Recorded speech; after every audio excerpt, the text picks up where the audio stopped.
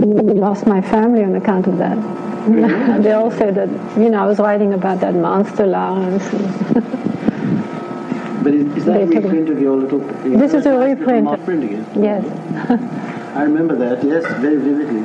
Well, that was the first defense of him, and by a woman, which is strange because since then some of the women feminists have turned against Lawrence.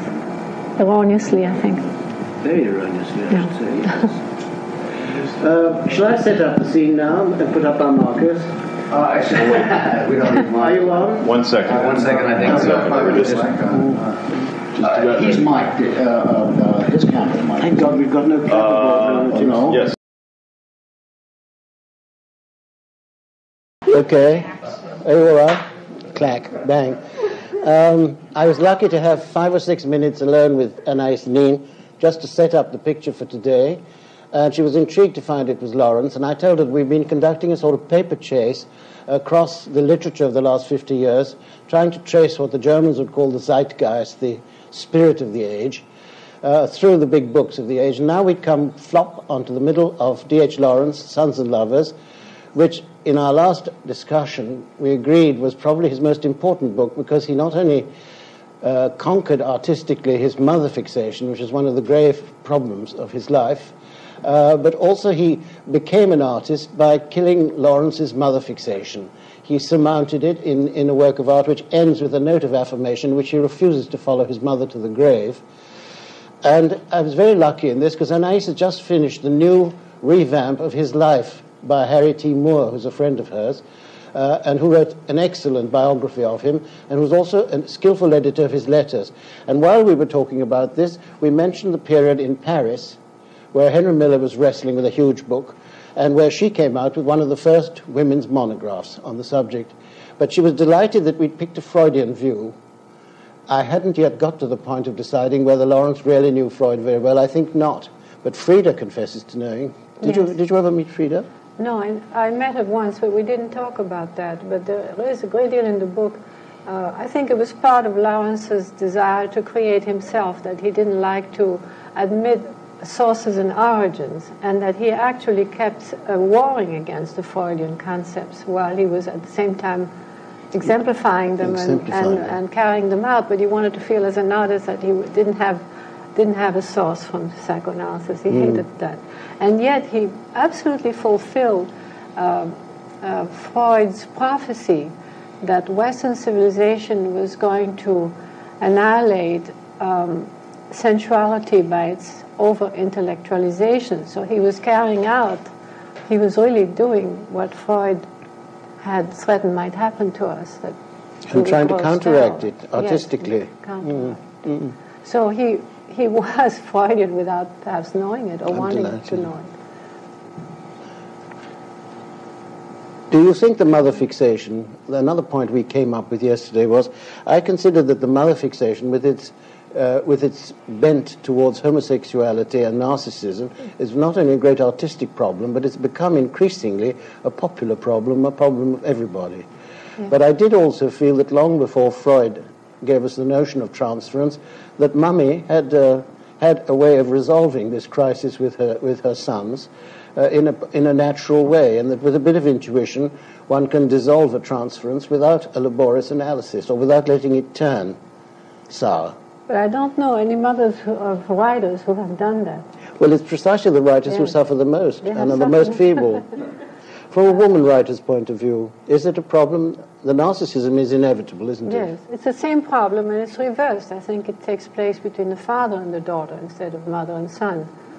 The woman also has to cut off the umbilical cord, but the umbilical cord is towards the father.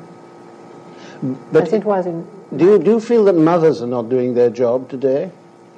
I think mothers are throwing their children out of the nest more often now than they used to mm-hmm. because they mm-hmm. are professional women who usually don't tend to stay, you know, to hang on to the children. Mm-hmm. I think there's more of a chance of that not happening.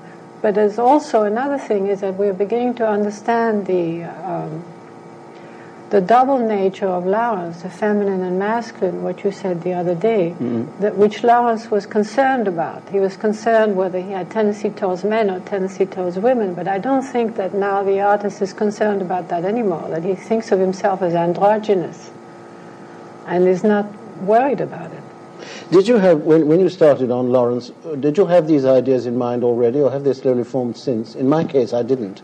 Uh, I, I did, just loved I him. did understand the androgynous quality I was- because I I, kept saying he stays to two sides of the case all the time. When he describes lovemaking, he describes how the woman feels, which was very unusual for a male novelist. And, and then he describes how the man, and he keeps a duel between the two sides of his own nature Yes. so that he is very, very much, uh, he seems to be speaking for woman as much as for man. That's why I never understood, you know, the attack against him. Because he does state the two. I think so. Well, the big ones And I always do. think Proust, feel that. Proust too. Yes, Proust, Proust's too. women are Proust marvelous, and so are Yes. Shakespeare's girls. But there we have uh, more knowledge of his feminine side. I mean, we- Yes. we, know more about the feminine side. Whereas the feminine side of Proust, of, uh, of, of Lawrence, because of the Puritanism and I guess the English uh, culture, he fought against it. An enormous conflict. Yes, Yes. he, he couldn't have. Tell us a little about what you were just telling me about the new Harry Moore description. He's added a great deal to the book. He's added um, a great deal about the friendships, and he has confirmed my feeling that he was the only novelist who really described ambivalence, contradictions, and paradoxes constantly, which he mm-hmm. was composed mm-hmm. of. I mean, mm-hmm. he himself was a paradoxical and contradictory character, and he was able then to pass on to us the knowledge that we are ambivalent and we have oscillations and we hmm. have love and hatred and we have contradictory feelings and we have conflicts. And he described those better because he he had them and admitted them. Hmm. He didn't hmm. try to make a neat little package and say No. everything is solved marriage is solved love is solved everything has a solution and all that and he went into the uh, very deeply into the uh, the contradictory nature of our, of our character. And all professing not to know anything about Freud. Oh yes, He was running yes. parallel to Freud, Yes. only as an artist resolving these problems in terms of characters. Yes, I think that's true. Do you find anything to disagree with in what we're just saying? Can you understand why Woman's Lib feels that Lawrence is unfair to girls? Oh, only because he talked. Excuse me, were you going to say something? There, uh, I've seen some of the things which are cited in Woman's lit- literature about Yeah, Lawrence's, nonsense. um, the dominant, uh, semi-bestial one, lower class man dominating the upper Oh. class woman. Taken That- out of that's context, Chatterley's. Very, very chauvinistic. That's Chatterley. But There. that's a misinterpretation, I think. Caricature of Lawrence. They have made a caricature of Lawrence. Also, his concern with leadership. And uh, I never took seriously these things about who is going to be the leader in the marriage because actually uh, the relationship with Frieda was tremendously, wonderfully balanced. And, they, and she had great sense of humor and she could go to battle and not, not collapse. Mm. And so she said when she was fighting in court for the inheritance, you remember the, the mm-hmm. sister wanted to take it away from her. And they started to sentimentalize the relationship. She said, that's not true at all. Well, we quarreled all the time. But, but they quarreled on a, what shall I say, honorable Honorable battle. combat. Yes. And so uh, I don't think there was this affirmation of I am the leader of the family, I am the head of the family, which he said, but I didn't never believed. But he did call her the Queen Bee. Called her the queen bee. Well, she certainly. Well, uh, uh, that's good. That's good psychology too. It did, really did work in comparison with the Miriam relationship, and I like very much that that phrase. It's not his, and I don't know where it comes from, which says that uh, in a, a good marriage or a good love affair, um, both command uh, and both obey, Yes. because uh, be the, the dimensions are really complementary and not warring, Exactly. uh, which I, I, I strongly believe in. You should have been here yesterday um, for the seminar which was given, um, was Dr. Quinoni? Um, he was talking about uh, paradoxes of time, transition in literary concept of time, particularly from Renaissance uh, into post-Renaissance culture, and then about the end of the 20th century, the transition into modernism, which claims has already passed. And uh, he talked extensively about Lawrence um, as being someone who was right on top of that transition. And uh, he talked particularly about um, one of the novels, I forget which one. Rainbow. Rainbow, yeah. Uh, where the mother is part of the old bourgeois culture, where the value is con- continuous continuation of the family. Uh, so she, her proper function, which she's aware of, is to be a mother, be a bearer of children.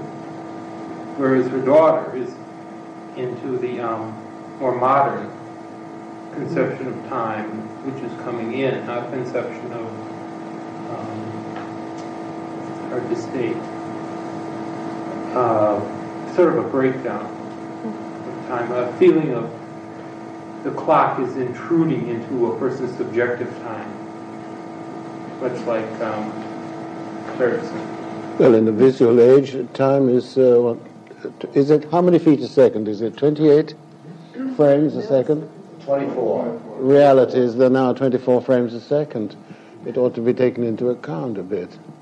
There's only Cocteau, I seem to remember, who did take that into account. And in one lecture which I heard, asked a wonderful question. He said, What's the difference between a photograph of Notre Dame on a picture postcard and a cinecamera film of it? And he said, The difference is the camera is photographing time passing. But when you first came to Lawrence, did you have a very uh, strong views about feminism, about freedom of the artist, or something? It was really just simply you loved the man for what he was doing. Yes, I had an intuition, uh, intuitive understanding of his work, I think, but I, I, was not by any way conscious of any feminism.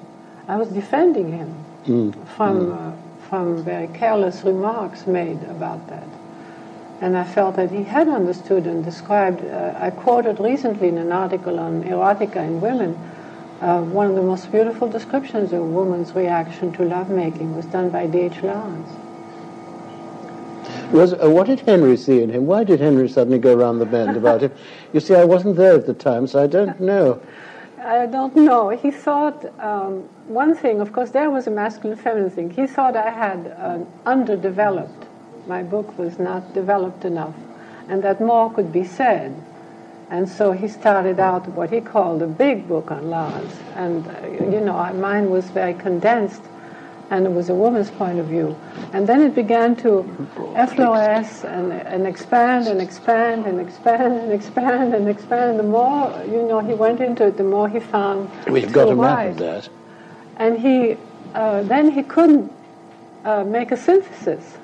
Well, you can't make a synthesis of Lawrence that was really, I think, the point we didn't get either yes. one Yes, no, because he was in motion the whole time, yes, like a jet of. Uh, he was uh, happening. He was an. and so was Henry. i am just thinking of that gigantic blackboard, which I think the students will be amused to see. This is what happens when Henry Miller starts thinking. This apple of discord gets uh, thrown into the, this was the his, arena. This was his this notebook. the development. and. Um, it looks more like the Mississippi going three ways, or which ways. This is to be a synthesis. We a chart. Yes. We anyway, got lost in the woods, as he said. Well, uh, he never published the book, did he? No, it's still there. No, because but, it, it uh, overexpanded. It, you see, the contradictions of Lawrence and the own paradoxical nature of Miller together made a. I think that it's rather difficult for them to read, but they might might want to share. Yeah, by all means. You see, uh, we decided to draw a tree and that each branch of the tree would help to organize this marvelous material. And of course, the tree grew also, and grew and grew and grew. It looks like a fugitive page out of the lake. that's, that's not a bad observation. It is. Hmm? yes.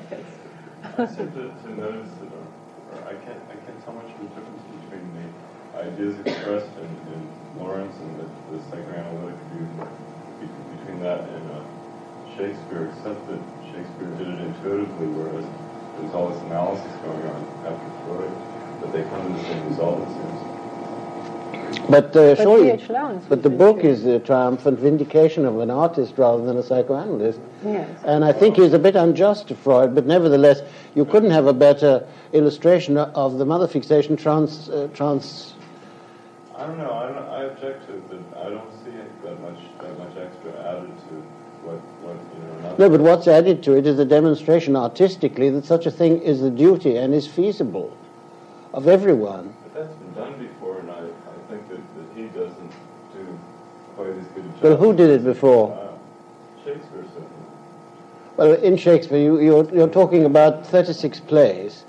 Uh, it's easy to say Shakespeare. I could say Goethe, but by the time you get through Faust part two, it's certainly evident. But in dealing with the lives of these people, obviously there's an enormous struggle, and, and the big tragedies of Shakespeare are resolved in the very calm, um, essentially resolved final plays. In Lawrence, if we must deal with him for 36 novels, you will find that the bitter struggle over this mother fixation, which is first determined, which saved also his relationship to Frieda, because he wasn't a man enough for Frieda until he demonstrated this and to himself, uh, ends also on a note of affirmation and calm with the, with the last short stories and the ship, that long poem, The Ship of Death, uh, etc., which is a, a, very calm mood, I should say.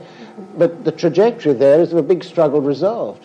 Is- Isn't perhaps the question really one of awareness of the ambivalence? I mean, if we look back at, at particularly pre-Freudian novels, you can always see the ambivalence, but the people who were living it weren't quite aware No. of their own ambivalence. No. I think and so. now, The ambivalence of Hamlet is certainly not as well depicted as the ambivalence that D.H. it's Lawrence intuitive deals rather with. than analytical. But um, I, I don't think there's any new ideas at all. Oh, I, I'm afraid Well, there there's is. nothing new under I have never heard, I had a young woman student. This amazed me because when I was 20, I can understand uh, being awakened to the senses by Lady Chatterley.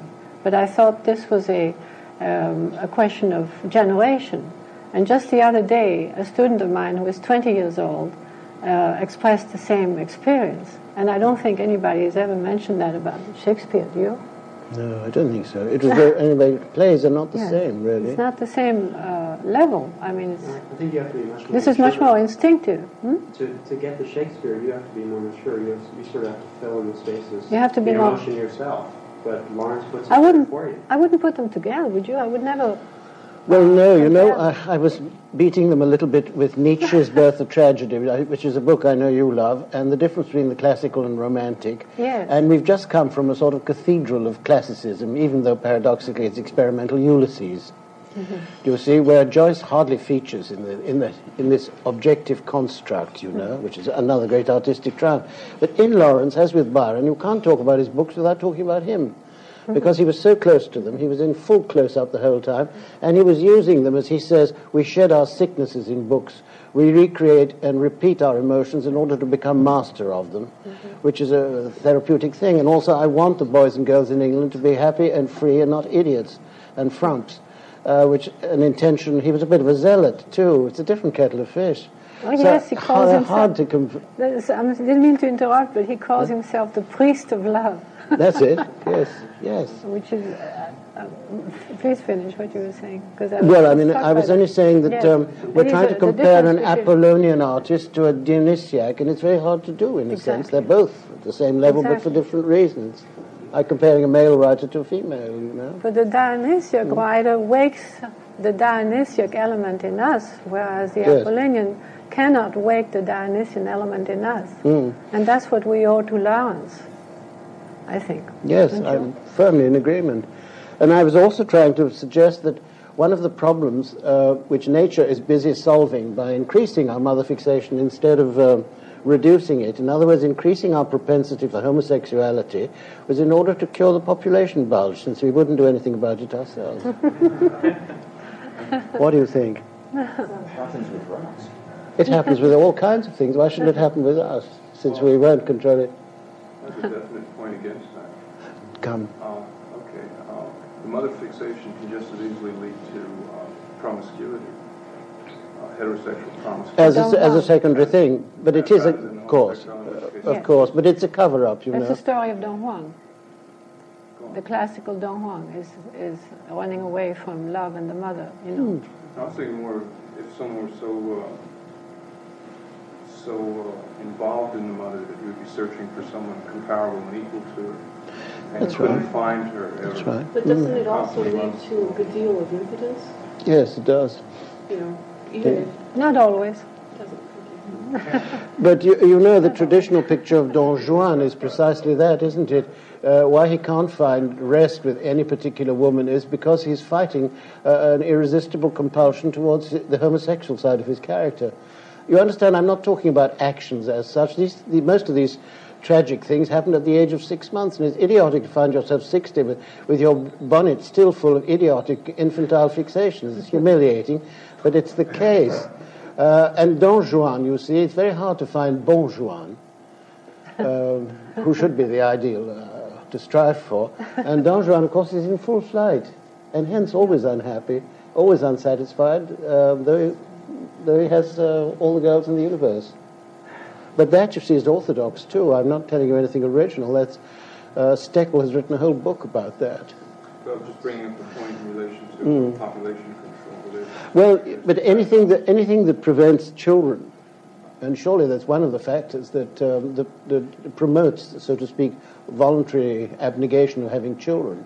I we should see. encourage it. Well, Well, I don't know. Either they stop the population bounds, or they biologically, it seems to work with, with rats. When you put them, too many of them in a cage, homosexual activity really picks up and the birth rate goes down.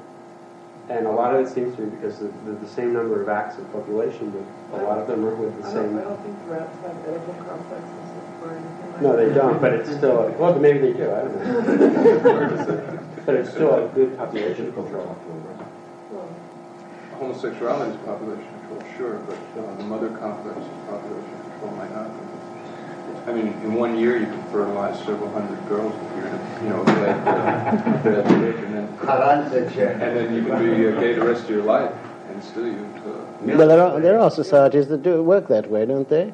They're mostly matriarchal. It may well be we're moving towards a, a matriarchal instead of a paternal and patriarchal family pattern in which the girls rule, because now they've, uh, they've definitely um, escaped the noose. The girls, in fact, it's, it's very it's very hard to talk to. To uh, uh, I was t- telling Anais how difficult it is sometimes to describe how dismal our lives were in the kind of society depicted by Lawrence, with those two great terrifying fears, one of syphilis and the other of getting illegitimately pregnant, which absolutely ruined all lovemaking. At least in, uh, I, I thought the atmosphere of England was disastrous from that point of view, and I think part of Lawrence's struggle uh, would have been resolved automatically had he been here now talking to you. Do you see? He would say, well, it's not quite the same case, and he'd probably be able to modify some of his, his uh, whip. But uh, you had that problem too. You say you nearly lost your family because of writing a book about Lawrence. Well, and Tropic of Cancer was uh, when I smuggled copies uh, into England to distribute to other writers. I smuggled six or seven copies. I was facing two years in prison, firm. And when Daniel decided to publish Groddeck's book of the It, a man from Scotland Yard came round and said he'd bring an action against him and he'd risk five years in prison. Publishers wouldn't touch it. They wouldn't print my black book and leave the four-letter words. There were only three. I mean, by modern standards, this is not even a dirty book. It's not even mildly prurient. Uh, but but this reputable publisher wouldn't wouldn't take it unless I removed these three shy little words. Uh, it's difficult to describe. But here you have. Well, tell us about the family. Oh, there was nothing. There was just simply this uh, condemnation for writing about Lawrence. They were ashamed because this was a period, you know, but you when come they, from a family of artists. um, musicians, but who don't read. well, anyway, Lawrence hadn't been translated into French, and my father couldn't read him. And then my mother was Catholic, which made made a difference.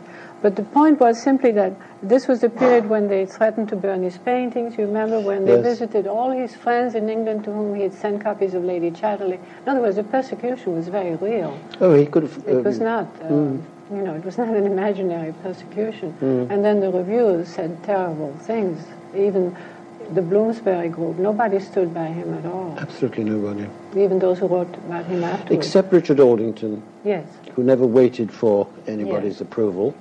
He stood by him.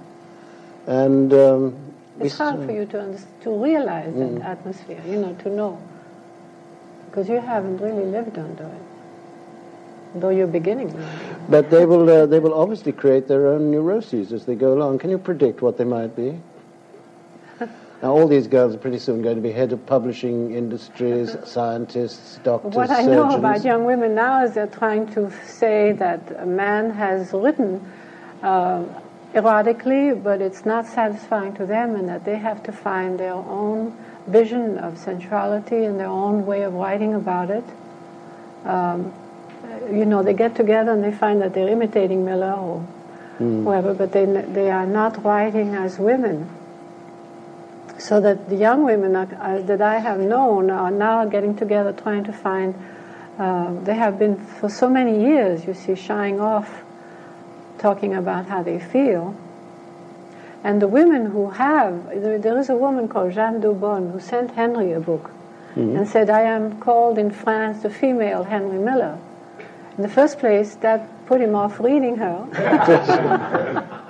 and the second place, she was immediately, absolutely immediately stifled by the critics on a moral basis, not on the basis of her writing, which was superb and very comic and great sense of humor and all that. Uh, she was immediately smothered because they were so outraged by a woman writing so openly about her experiences, uh, a real parallel to Miller, which, uh, you know, for many years was also judged on that basis. Why, why is it, that, do you think, that whenever, I find that most females that read Cancer, or any Miller for that matter, find it so objectionable after 30 or 40 pages that they... That They have no sense of humor. They have no sense of humor and they don't realize how you can adapt these things to yourself. I read Miller and decided I will be as free as that. I mean, I made the conversion. I didn't put myself in the, in the victim's place. Do you think that Miller, do, you, do you think that Miller is, you can, you can make any analogy to Lawrence in this way?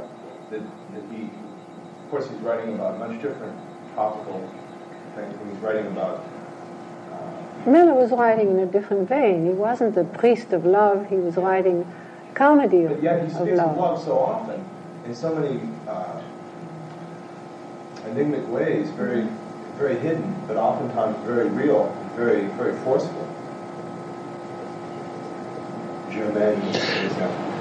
Uh, I'd like to I'd like to say what he said to me when I put up this question to him. He said the mistake they make about me is my books are not about sex; they're all about self-liberation, and that as I was a child of a Puritan culture, it was the only way I could go to smash the eggshell for myself, and they should be regarded. The more grisly the scenes, they should be regarded like one of those Tibetan altars which contain blood-stained masks and all the paraphernalia of the horrid earthly life in order on behalf of a spiritual life, uh, which is a fair, fair enough defense. And if read with that intention in mind, one, I know there are parts that make put my teeth on edge, in Sexus particularly. Um, they- Yes, that I, Uh, I agree with you. uh, he, he certainly, but he's, he's uh, doing it with an intention, and uh, I find sex is too caca pee for me. Yes, I agree. Uh, do you know? Is that real though? The, is that is, did that really happen with Mona? That terrible part in that where where she kicks him out and he's really just running around in the rain for weeks.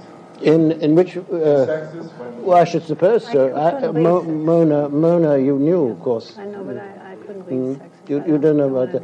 I should say there was an element of truth in it, or you know, because he he doesn't actually embroider, but sometimes he time scales things together. And I didn't I didn't know particularly about that, but I mean, it's one, it's one of the most dramatic things. He's a very Dostoevskian masochist, Henry, and has a good broad streak of Puritanism. Disagree if you will, don't No, I you agree. think? I As agree. indeed Lawrence did. I agree. Oh, Huh? yes, Lawrence was a Puritan. Lawrence would quarrel with friends who uh, separated and married someone else. Uh, I think it was Aldington, no, who, Yes, had, yes. was was living with one woman and then married another, and Lawrence was incensed by Mm, that. mm. He was a Puritan. To call himself the priest of love is already. That's very dangerous. yes. Dangerous. and there was a quotation I wanted to do. He says that it, it was um, It was a nourishment of the mind by the senses that he affected. That's what Gardiner said. And I Who said that? was very well Nourishment said. of the mind. Nourishment of the mind by the Mm. senses. Yes. That's what Mm. he affected. I think there's a difference between Lawrence and Miller in that sense. Miller was trying to crack the Puritan Well, Miller, shell, Miller's much more selfish, isn't he? In other words, Miller was only thinking about his own getting out of salvation. his own head. Whereas Lawrence had a sly eye on the Welsh coal mines and uh, the habits of making love of those dreadful um, troglodytes up in the middle of uh, in the middle of England. And there he really did have a case because this sadness, the poverty of, uh, of intellect and of ordinary living life, indeed, in those uh, heavily over-industrialized areas where, uh, where money goes hand in hand with drabness. Uh, here you have enough space, you're just about filling it up now, and it's going to start here, I suppose. But in those small towns, those mining towns particularly, his description of that sort of life is uh, truly sad. I think very sad. Do you think, and I, I, I put the case in setting up these things, that the, uh, the fact of achieving an, a work of art on the theme of sons and lovers uh, n- not only saved him as an artist, uh, about this one principle, the white peacock is also much more agonized about it, but also saved his marriage in a sense because it affirmed his artisthood. Uh, and, and with Frieda at his side, it left him much freer to really love for the first time. Yes. It was the most important, perhaps the most critical and most important part of his career. It was suddenly um, realizing himself as an artist. And from then on, there was simply no looking back. That marvelous The relationship. book, uh, to read the book on Frieda that came out recently is very Mhm. interesting because it shows the collaboration that took place. In other words, they were fecund battles. Yes. They were fertile battles. There was always something good that came out of it. He learned something, she learned something. You know, there was an exchange. It was the way they had to exchange, but that they did. And her knowledge of psychology was very strong. Well, she, well, she says she had a Freudian, an Austrian, um, a young Austrian doctor who was an ardent Freudian and trained by Freud, uh, who transformed her life just about just before she met Lawrence. She was then Frieda Weekley. She was the wife of an, a don in uh, Yes. in something. Yes. But she says that she uh, she taught uh, a bit of, of Freud to Lawrence, but frankly, in this psychoanalysis in the unconscious, it's not that at all, is it? No, no, he's really uh, hostile to it. Mm, mm.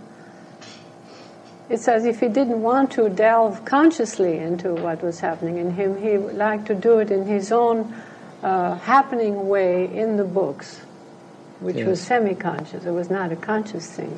You know, I don't think he knew. still had control. Yes.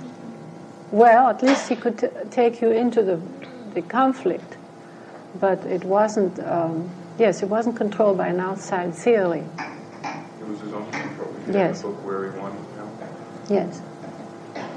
feel that um, that uh, man like Lawrence, maybe writers in general, are trying to are denying a reality where they don't fit, creating a rea- reality where they just barely fit, and then trying to change the reality by their creation, by publishing? No, I don't. No, I wouldn't put it that way. I think they deny the reality that they don't that they don't like. You know, which which Lawrence was was given as a child. Then they seek another reality, which actually then uh, he finds people that fit into it, and then are attracted by the work, and then therefore that makes another reality. The people who read Lawrence, loved Lawrence, understood Lawrence, made another reality. We had a, a way of looking at the world and experience. So when the artist turns his back on the reality he doesn't like and says, I am making another world, uh, he does really make another world in which you or I or whoever Of finds himself in Lawrence, as I did when I was 20. Mm-hmm. Um, he does create a reality in which you can live Surely. Mm. and in which you can Well, progress. hinting at escapism. but it's really like a plant looking for, uh, putting down a taproot and looking Yes. for a fertile soil. Exactly. Because he feels life is so damn short that if I don't find somewhere of realizing myself, it, it, I'm go- everything's going to waste. My whole life will be wasted by a sort of mere inattention. I was thinking, I'm thinking of the industrialist and women in love, where here is the incarnation of strength and power, and big Hulk, everything about him, uh, sort of a peak of strength. And his only resolution Yes, he was weak. Mm. Mm. He had no interior uh, substance. See, had, I think he wanted to prove that he had no inner strength to withstand catastrophe. Mm, I Where think so. identify? Sorry? Where did Lawrence identify himself? He must have known that kind of person, I think, don't you think, in his mining background? he must Do you know there, there, there is a model for almost all the Lawrence Yes. characters, and I've forgotten. but I was so amazed to find that at that period they were doing nothing but putting each other in each other's Yes. books. And, um, in all the conversations with Aldington, you couldn't discuss one of these things without him saying, yes, and wasn't Bertie angry? That was Yes. Bertrand Russell. uh, and so on. And yet there never seems to have been a libel suit of any sort. I've forgotten who. No. If Aldington were here, he could tell you straight off that it was Alec War or something like that. You know, you would find Lawrence in uh, Huxley as Rampion. Yes, of course, in Point Then, Counterpoint. Then Moore, um, not Moore, uh, Murry would write about. Uh, Middleton Murry, yes, yes, that then, awful and man. then La- Lawrence would write about Murry in a way that infuriated him. Yes, yes. we were going to end on point counterpoint. In all our, we've just come down from the Great Pyramid of Joyce for this Lawrence session. I'm afraid it's not going to be time, but I'd selected point counterpoint because Huxley led, it seemed to me, as, as not only as a friend of Lawrence, but as a mind on his own, in his own right, into modern man, so to speak, particularly his renunciation of, of scientific materialism per se, and his espousal of Eastern religion in Vedanta and the philosophy of, of Mahayana Buddhism and so on. He's very much our contemporary. But unfortunately, I, I miscalculated, and I don't think we'll be able to do that. But I felt that would make a, a, a shape of some sort, because after Huxley, we haven't really made any theoretical advances in any direction whatsoever, have we? Or have you, have you thought of, of that? I mean, Huxley's so contemporary. haven't thought about that. Mhm. Is there You anyone? mean beyond um, the I'm, I'm Huxley just thinking as a, as a cultural as a cultural sort of uh, marker, not Huxley as himself, but no. What are the his, ideas his span of thought, so to speak, is tremendously contemporary. Does anyone feel that that, for example, we've got beyond uh, the Huxley position in any way? I think you do, but I, I can't make out. Um, in, in American literature. Oh, of course. and then and nowadays, um, since 1960 or so, black literature is really the most important advance. who? First of all, the beat in the 50s and Oh, the now- Kerouac, the Kerouac thing. Kerouac, Yes. now Ed Bullins, black writers. I think they're still very formative. I don't think they've surpassed in, in scope. Do you think? As far as, as, as, far as, as, as I mean, in their co- uh, in the in the the comprehension of all the various issues and their attempt, so to speak, to make a synthetic view of a universe which is telling. I think individual writers have made wonderful strikes in all directions, but sort of comprehensive thinking. I don't think Huxley was a great artist, but he was a great coordinator. Uh, and, and uh, I actually did that coordination. That's, uh, well, I'm so grateful. I first heard of, of Suzuki's essays uh, about 40 years ago, thanks to a curious little essay of Huxley's. I first heard of Lao Tse when I was trying to write a paper on Oscar Wilde. When he was head of a fashion magazine to make a bit of dough, he reviewed books and he reviewed the first translation of, of uh, Lao Tse. Uh, it's in this way that coordinators are helpful. I'm very grateful. He saved me years. okay, I thought you were going into something else. Well, no, please, but could you develop a little bit? Just the idea, the idea that you think of Western literature in terms of, of coordinating all these things and you're doing a, a, a full philosophy of life in, in a book, which I don't see at all being so. Um, just look at, at, at even some of the uh, non-standard earlier great Goethe, uh, well, Germans in particular, it seems Kafka, um, different people who haven't really presented that much, but, but use tremendously novel ideas. Well, if you had to write something on, on Kerouac's philosophy of life, I suppose you could make something Well, of it. He, he deals a whole lot with the infantile, what you've been talking about, but he doesn't go into, uh, But i i there's no question of resolution for him. Resolution is taking to the road, no, res, no, resolution. Which is also the tramp's solution. Why not? But it Okay, is. Uh, is, is mystical. it's called perambulatory paranoia. but it's all right. It's quite valid. What, just presenting a completely different aspect, what about for example, the New York poets now. I think people like Ashbery and O'Hara are presenting not necessarily, uh, as you say, fusion, uh, a fusion of a total philosophy, but Ashbery, I feel, Mhm. presents one or two ideas in a poem, in say a one-page poem, and I think that he, his imagery and his his what his uh, language is so dramatic and new in some ways. Mhm, Uh, mhm. For instance, Ashbery, he's, I think he's my favorite poet these days. I think he's doing wonderful things, and O'Hara and hmm O'Hara, I know better than him. But I, th- I think the poet is under an obligation to take that bigger view, don't you? A novelist can illust- use his novel as a sort of illustration, and, and he's got more scope to do it. But a poet, almost in honor bound, got to produce something that stands up for the whole universe, really, and to the whole universe. For instance, advances, advances in, in, in writing with using humor are, are pretty vast these days. A lot of people are working on, on things which started a long time ago, but um, there's a lot of new ideas, the sort of surreal kind of humor in, in a lot of modern poetry. Those, those are definite things that have gone by since 1930. But you know, the degree of ignorance is so enormous today because most of these things were done by the Dadaists in about 19. Uh, huh? Well, there was practically nothing that the lettrist and the Dadaist and so on and so on haven't done 20 years ago. And the experiments with language, breaking it up and pulling it apart, which finally resulted in an attempt to artistically justify the performance in Finnegan, which you find is a great success and I find wearying. But I mean, I love the idea. I, Wearing? No, I agree that the, most of that, most of what you, you see is, is hmm. not anything good, but there's a lot of stuff in the background and some, some stuff that's up there. Well, Harry Levin's essay is more interesting than the book, you see, because it's a brilliant analysis of the intentions, and he illustrates with the best jokes which occur between page 200 and 900. I'm sorry, Um, talking about Finnegan's Finnegan, yes. I love Harry Levin's essay. Harry Levin. Levin, he's Yale. He, he's, a, he, he's a Yale scholar who's absolutely marvelous. He's so thrilling that um, you keep going back to Finnegan to verify his quotations. But Finnegan itself would have defeated me had I not had a, a Levin to check with. Or Joe Campbell. Joe, you know Joe Campbell's Skeleton Key. Yes, yes, I haven't read that one actually. Mm. And I, how's your Finnegan?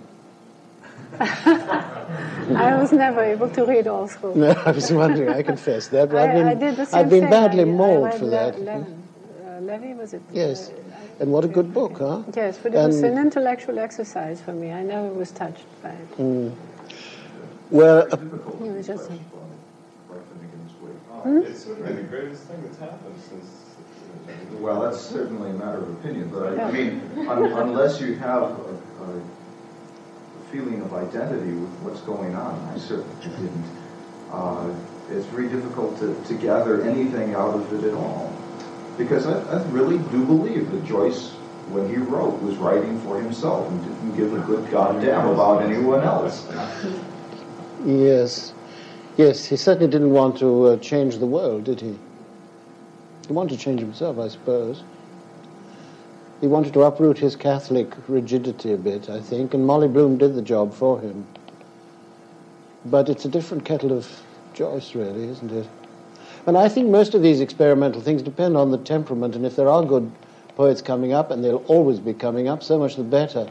But in terms of technical innovation, I don't feel really philosophically we've got beyond uh, beyond that little area demarcated here here in, in your part of the world by people like Gerald Heard, Aldous Huxley, uh, and vaguely the books that came out of that period, the Zen books. The, uh, after all, Kerouac was at, uh, at the nipple with Alan Watts, so to speak. I mean, his Zen was uh, taken entirely from Alan Watts's popularizations, which were themselves popularizations of Suzuki, uh, which Huxley had taught us to read 100 years ago.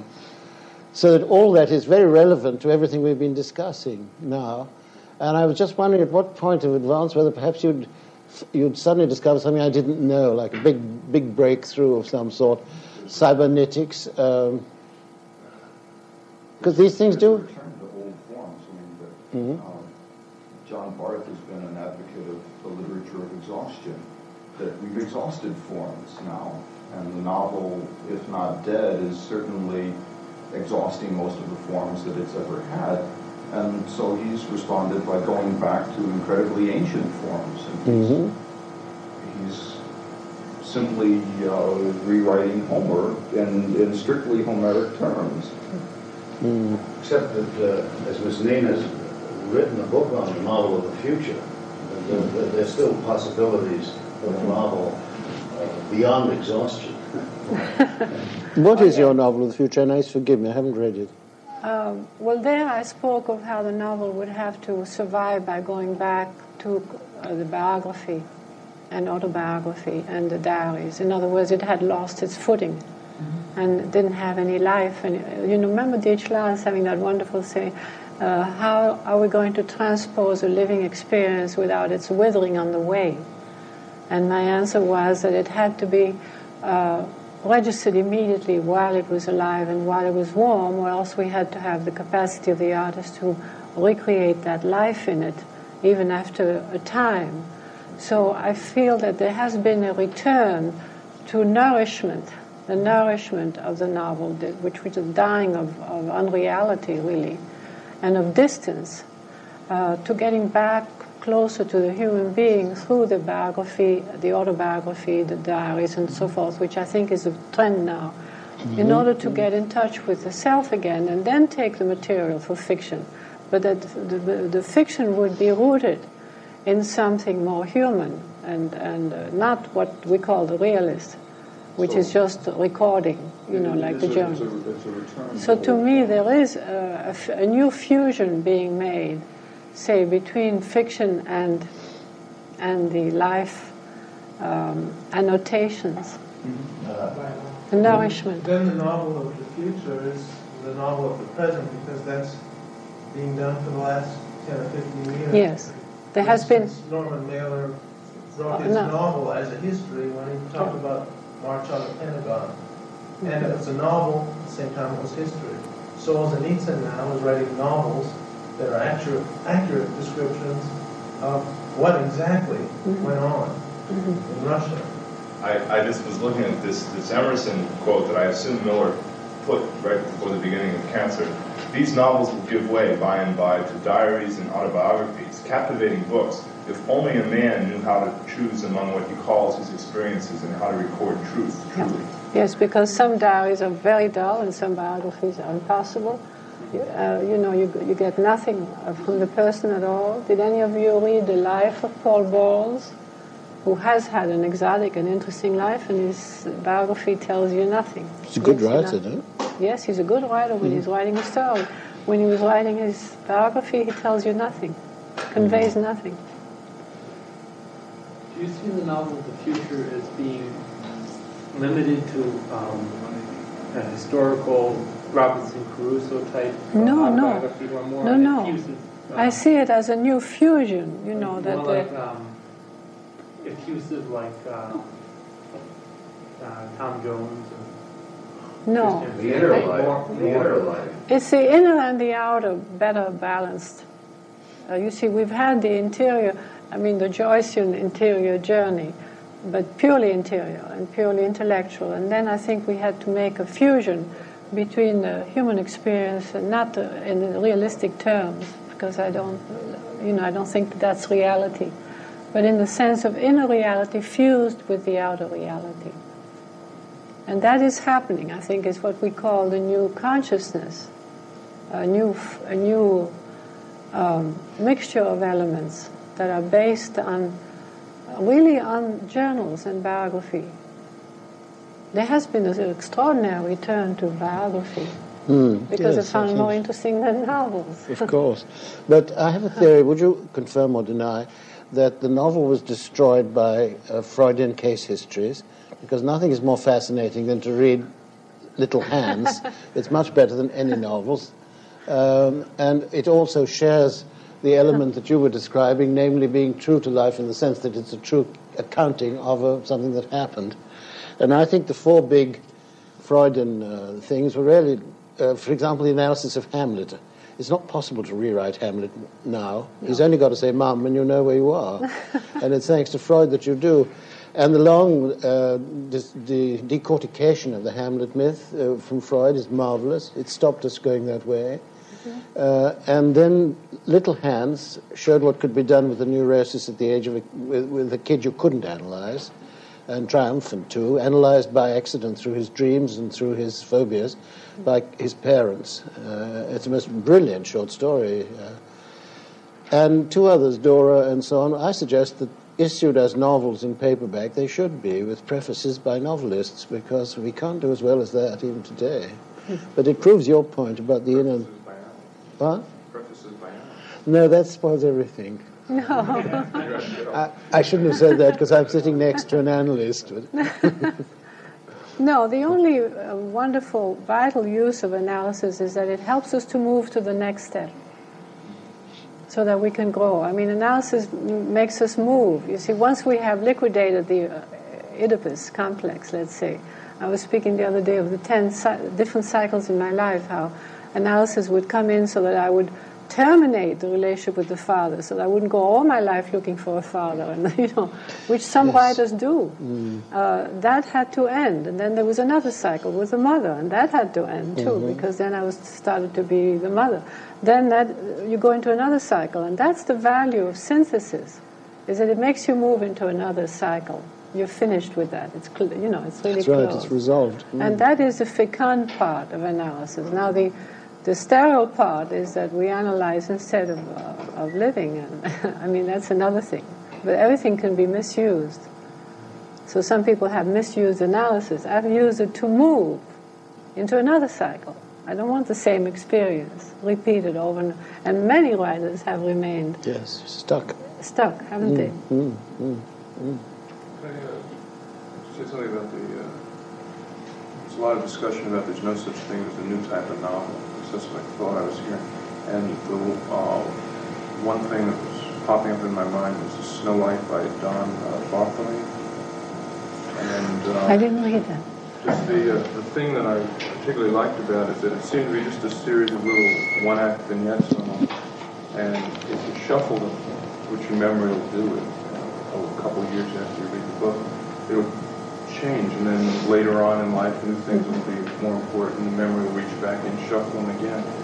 And I'm wondering if, uh, you know, when people say the novel's dead, well, there's something that seems Oh, well, the people who say the novel's dead are, are dead writers. I think it's always said before the new, the new writer pops said. up, really. It's always said, you know. I mean, I think it's uh, always Larry said, and then bang, just suddenly um, something, something new comes out. Larry discovered a new way of telling a story. That's, that's out of bounds. Is it out of bounds? My I neighbor. I think, mes enfants, that the time is up, and some of you had uh, other classes and perhaps more profound ones, but surely not more enjoyable.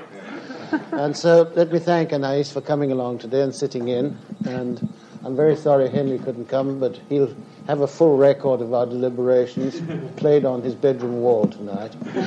So he'll be pleased, and if he has some arguments, I'll bring them when I come on Monday.